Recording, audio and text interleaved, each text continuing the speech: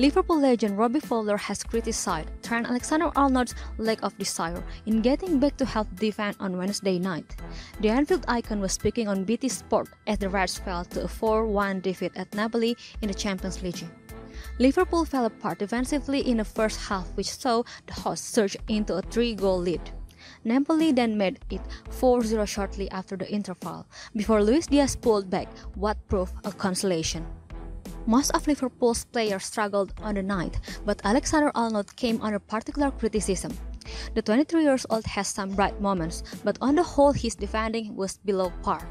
For example, he was beaten too easily by Khvicha Kvaratskhelia in the build-up for Napoli's third goal.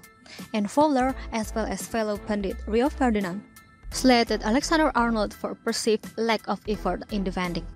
What I would say is you cannot question the desire of this team over the last few years, but you can tonight.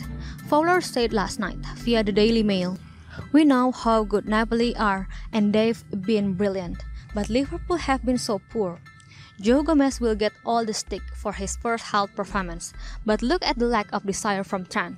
You cannot call out him going forward, but defensively we can pick him apart because he doesn't show the same desire to get back than he does to get forward and that's wrong. Liverpool were shocking defensively. Lex Luster.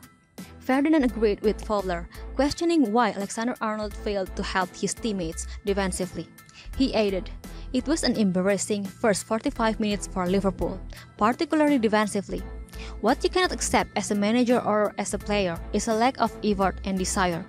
When people don't run or don't have the desire to get back, Gomez makes the mistake, but you've got to get back and help your teammates, and Trent didn't do that. Liverpool got teased, they got embarrassed, they got shown up, the result has been coming too. They were lackluster and lacked grit, determination, and desire.